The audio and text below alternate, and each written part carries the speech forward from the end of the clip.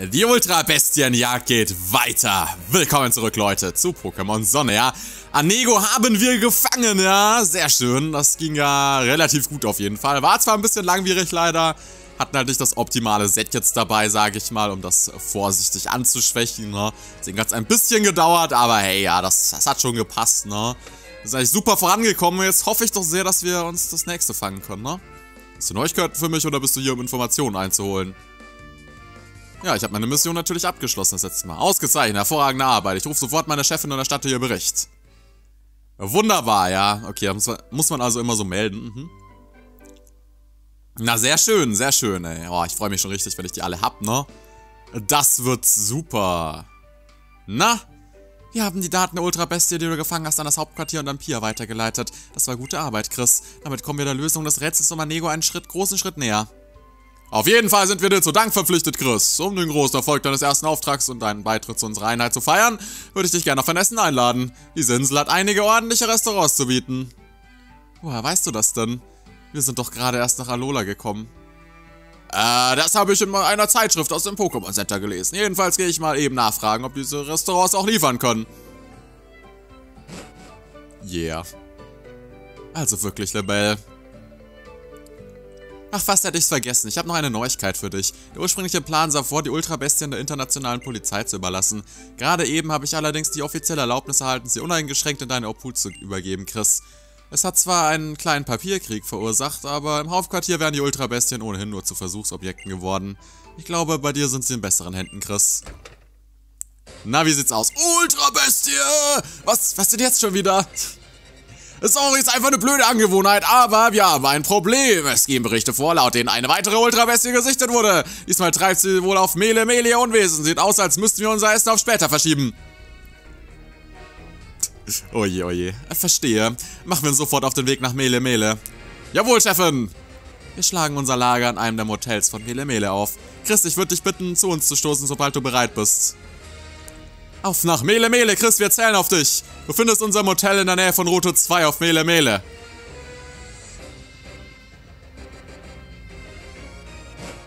So, alles klar. Dann würde ich sagen, geht's auch schon los. Ja, Mele Mele, wir kommen. So, okay. Richtung Route 2. Ach ja, das ist, das ist ja super hier. Wo ist das hier genau? Vegetationshöhle vielleicht? Vermute ich mal. Naja, sehen wir mal. Also gut, es geht auf jeden Fall los, Leute, ja. Schwupp.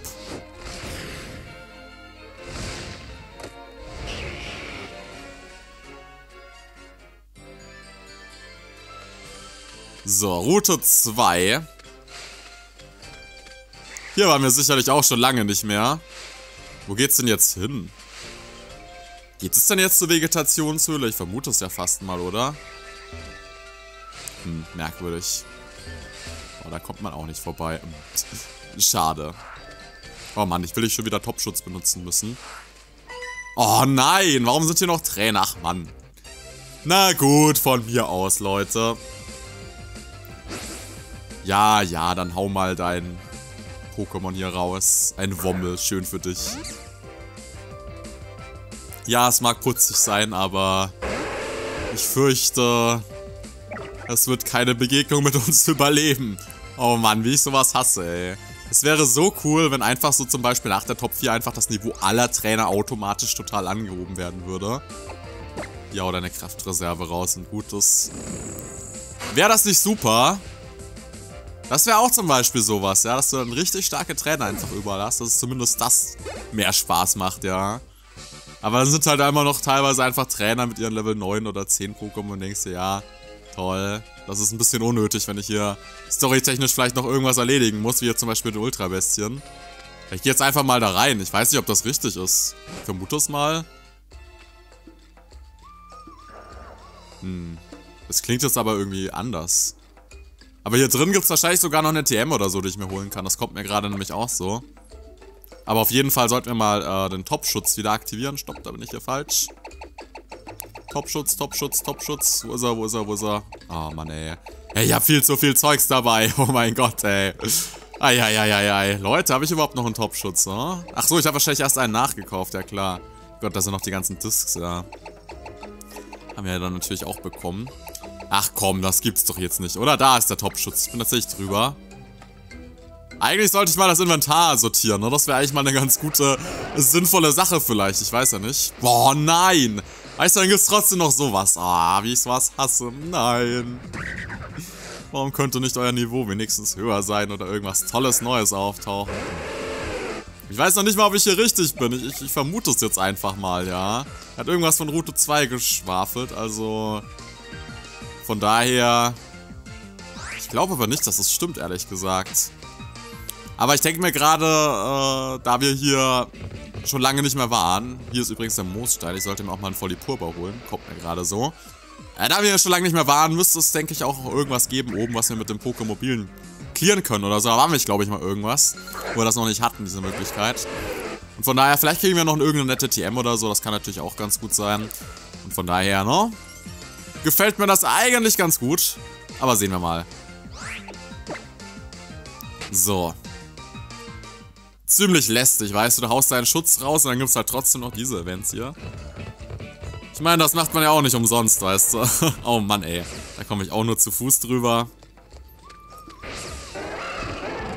Das sind teilweise so Kleinigkeiten, die mich stören. Das ist nichts Großes.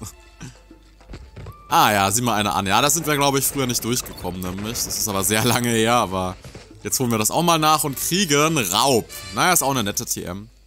Durchaus. Kann man was damit anfangen, wenn man möchte. So, sehen wir doch mal. In der Nähe von Route 2, was ist da eigentlich noch so alles? Das hier wäre noch in der Nähe. Na, gehen wir da mal hin. Er hat doch irgendwie gemeint, dass da in der Nähe was wäre, aber... Ich hätte es nochmal genau lesen sollen, ja. Naja, zwischen 2 und 3 wäre zumindest das Blumenmeer. Das wäre vielleicht noch ein Anhaltspunkt. Mal sehen. Ja, das wäre so ziemlich genau praktisch dazwischen. Sehen wir doch mal. Vielleicht haben wir Glück. Naja.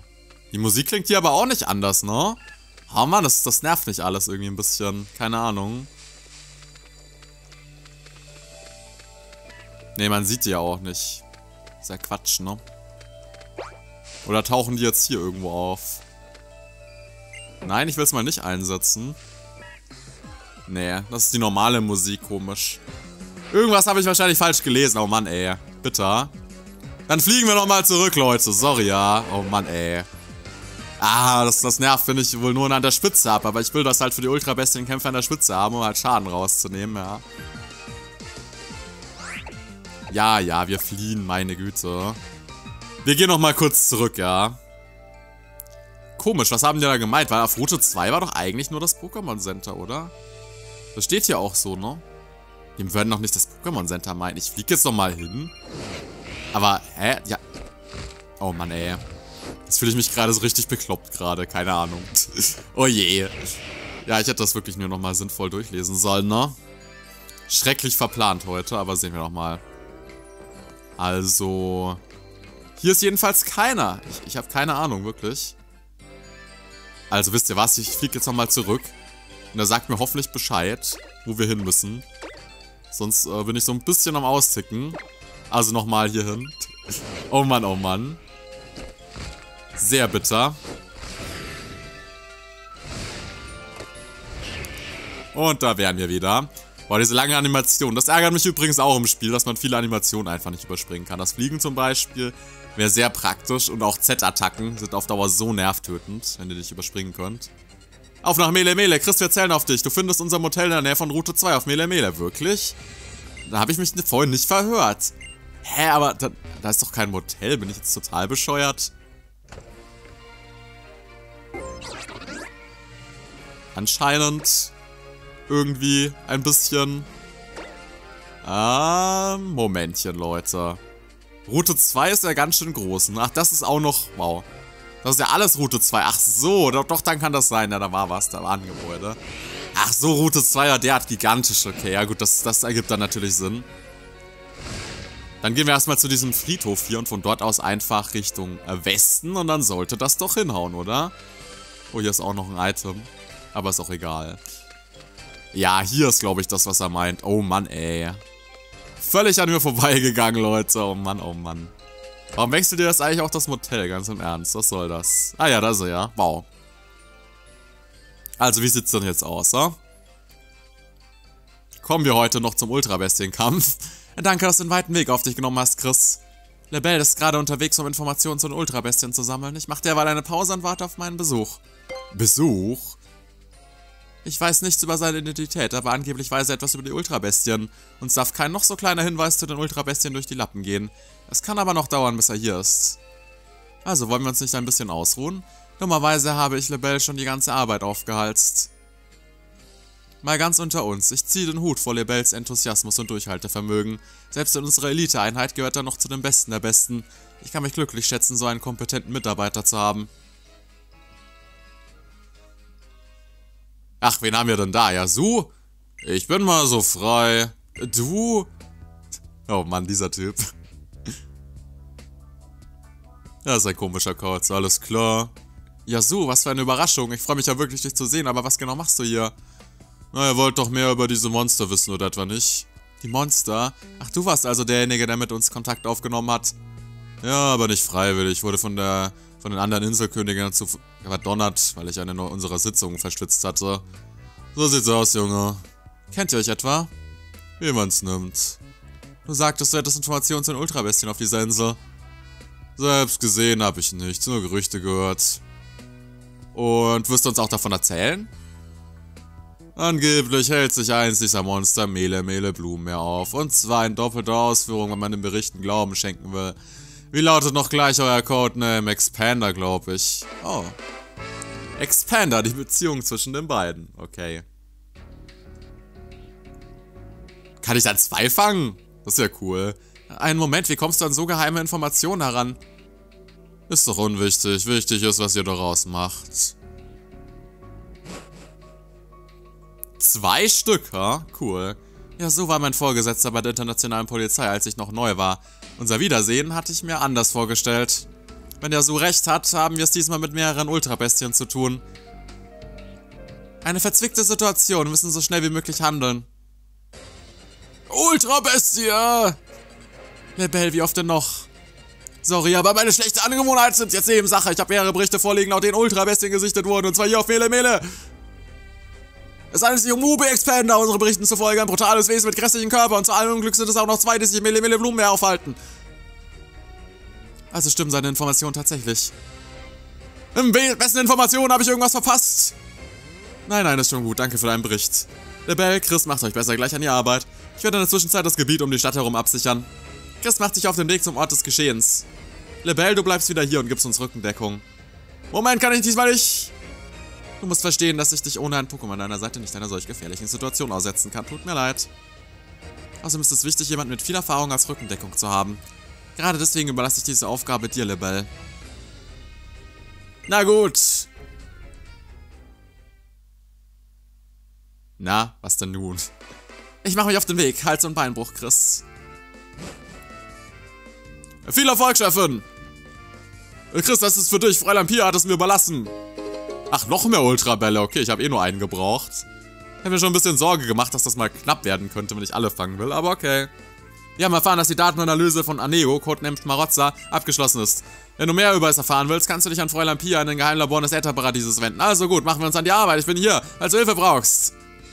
Alles klar, dann gehen wir mal los. Endlich, ja, haben wir ein Ziel vor Augen, meine Güte. Was für ein langer Einstieg. So, ohne größere Umschweife, sofort nach Mele Mele. Da mache ich da auch schon richtig. Sehr schön. Schwupp. Also auf geht's. Ja, zwei Stück, ha? Na, damit werden wir hoffentlich fertig. Mal sehen. Ich bin doch zuversichtlich, ja. Auf geht's, Leute. Uh. Na, jetzt ist die Musik auch anders. So muss das sein, ja? Aber hier ist erstmal nur was Normales, okay. Also platzt man eventuell nicht gleich sofort rein. Das letzte Mal ist uns das ja passiert und ich war ein wenig verdutzt, ja. Dass dem so war, Oh, es, ist, es ist wirklich lästig, etwas mit Hagelalarm an der Spitze zu haben, weil du kannst halt so lange nicht aus dem Kampf fliehen, das ist der Wahnsinn.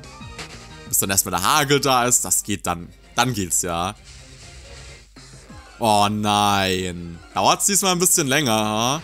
Da hatte ich wohl echt ein bisschen Glück das letzte Mal, oh Mann. Das ist ja doof. Aber gut, was will man machen, ne? Ja, ich weiß, Hagelalarm. Freu dich. Ist schön, ich weiß. Aber wir sind da mal weg, ja. Allerdings sind wir das. So. Komm schon. Ja, ist das diesmal nicht hier in der Wiese oder was? Ich meine, drei Kämpfer jetzt schon okay. Ich weiß nicht, wie hoch die Chance ist. Es wundert mich nur, vor allem, weil er gesagt hat, ja, es sind ja zwei Stück auch noch, ne? Ich denke mal nicht, dass diese Ultrabestien so klein sind. Die wird man ja wohl sehen, ne? Irgendwo. Also bitte, ja. Äh, bitte lass mich das in diesen Part noch äh, mit einbringen können. Das ist mir sehr, sehr wichtig, ja. Das zu zeigen. Oh Mann, ey. Spiel, come on. Wirklich. Ist das dein Ernst, huh? Ach, warte mal. Topschutz vertreibt doch nur alles im Prinzip, was ja niedriger ist, ne? Ich schätze aber mal, dass die über äh, die Ultra-Bestie noch über uns sein könnte, leveltechnisch. Dann wäre sogar ein Topschutz ganz angebracht, glaube ich. Ja, ja, genau. Das könnten wir eigentlich tatsächlich ausprobieren. Weil so ist doch... Also Schutz hat ja immer diese Zusatzbedingungen mit drin eigentlich.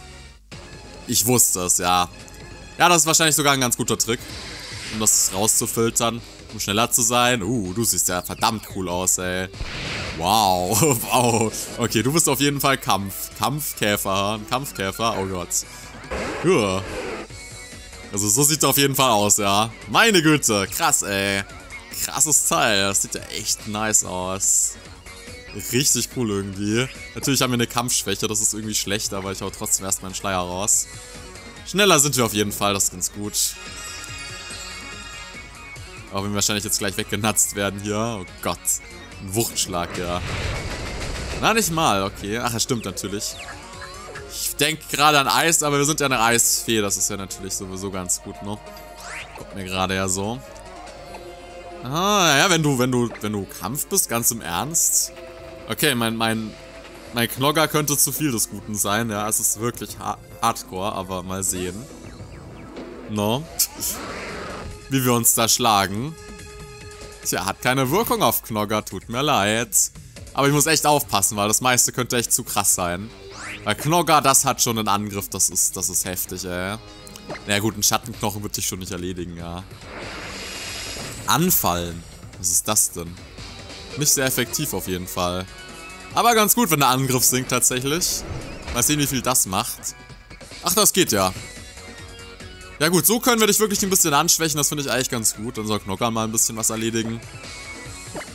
Okay, finde ich gut, finde ich gut. Anscheinend hat das Teil auch eine relativ gute Defensive, oder? Schätze ich mal. Der Schattenknochen ist ja trotzdem eigentlich ganz gut. Vor allem mit dem Step. Naja gut, wir haben jetzt den Angriff schon mittlerweile sogar um zwei Stufen gesenkt, ne? Jetzt ist es doch vielleicht ein bisschen langsam. Aber wenn ich jetzt mit dem Knochenmarang hier anfange, dann weiß ich nicht, ob das nicht schon wieder zu viel des Guten ist. Das ist halt das Problem, ne? Weil Knochenmarang ist schon auch verdammt stark einfach. Sollte irgendein Volltreffer vor allem drin sein, dann ist das besonders lustig, ja. Also lassen wir das mal schön. So, unser Angriff geht aber immer weiter runter. Vielleicht haue ich doch mal einen Knochenmarang raus. Ja, ich denke, wir hauen den Knochenmarang raus. Jetzt hat es auch aufgehört zu hageln. Müssen halt nur sehr aufpassen, ja. Ich mal wissen, nicht, dass es zu viel macht. Wobei, wir haben ja theoretisch zwei Chancen, ja. Ich brauche ja nicht unbedingt zwei. Eins will ich auf jeden Fall aber haben. Ach, warte mal, ist nicht sehr effektiv. Oh. Nicht ein Held. Flammenblitz. Ja, 120. Oh, wir können es schon mal probieren. Jetzt macht mir der Recoil gerade auch nicht so viel. Ganz im Ernst. Ist mir jetzt eh egal. So. Auch nochmal drauf hier. Das ist aber hoffentlich nicht zu viel des Guten. Wow. Krass, okay. Überhaupt nicht. Das kümmert ihn ja kaum. Das kratzt ihn nicht mal, ja. Na, dann mach weiter mit Flammenblitzen. Aber wahrscheinlich ist einfach unser Angriff mittlerweile derart niedrig, ja. Ich meine, jetzt sind es vier Stufen oder sogar fünf, also da geht dann wirklich nichts mehr. Auch wenn Alola Knocker ja eigentlich ultra offensiv ist, vor allem mit Kampfknochen, ja. Das ist schon richtig krass eigentlich normalerweise. Okay, wegen der Spezialfähigkeit der Ultra-Bestie müsst ihr auch noch ein bisschen aufpassen, ne? Das ist ja auch sehr gefährlich. Das Teil sieht aber auch echt lustig aus, muss ich mal so ganz nebenbei noch erwähnen. Du bist, glaube ich, nicht schlecht noch, ne? Dich kann man auf jeden Fall, glaube ich, ganz gut einsetzen. Jo, mach das mal. Du kommst raus. Hier, ein Azumare. Macht wieder anfallen, aber ich denke, so eine Wasserdüse dürfte nicht schaden, ne? Sehen wir doch mal. Einfach nur schön anschwächen, schön runterschlagen und gut das erste Mal. Mal sehen. Ja, also defensiv muss es ja wirklich sein, ne? Das ist der Hammer. Und da kommt auch schon der Hammerarm dementsprechend. Initiative sinkt. Das ist sogar relativ schön. Hm, hat es wohl noch ein Item? Ich denke nicht, oder? Eher unwahrscheinlich. Jo, aber wir sind ja eigentlich äh, sehr gut dabei, ja. Ich will jetzt eigentlich nicht zu Farbigel wechseln. Das sollte wirklich so eingewechselt werden, dass wenn jemand gerade abkratzt, dann ist das, glaube ich, ganz gut. Knuddler könnte zu viel des Guten sein.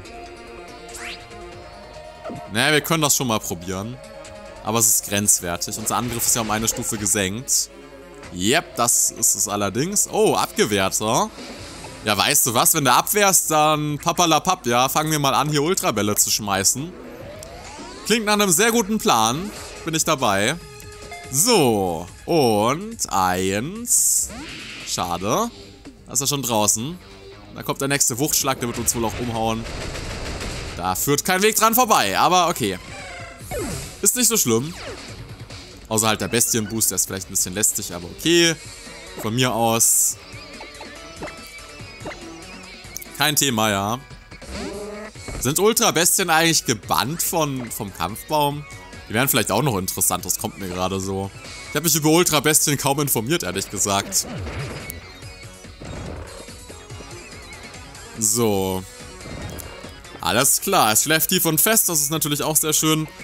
Dann würde ich sagen, schmeißen wir den nächsten Ultraball und hoffen, dass es funktioniert, ja. Wäre sehr, sehr schön. Ich will nämlich ganz, ganz viele Ultrabälle raushauen. Eins, zwei, drei, na, na, na, na, na. Jawohl. Wunderbar. Das hätten wir also auch, hm? Immer noch Fragezeichen, Fragezeichen, Fragezeichen dasteht. Achso, stimmt, ich habe den EP-Teiler wieder eingeschaltet mittlerweile. Zum Trainieren ist es dann doch etwas angenehmer, ne? Nicht, dass sich jemand wundert. So, Mosquito. denke, das kann man jetzt auch, ne? So, sehr schön. Mosquito. Eine Ultra-Bestie aus einer anderen Welt. Niemand weiß, ob sie ihren Körper aus Stolz oder zur Abschreckung stellt. Vielleicht beides, keine Ahnung. Auf jeden Fall sieht es ziemlich awesome aus irgendwie, meine Güte. Interessante Texturen so. Es bleibt eine weitere Ultra-Bestie. Tatsächlich, also gibt es dann hier auch wirklich zwei, die wir fangen können. Das ist ja cool.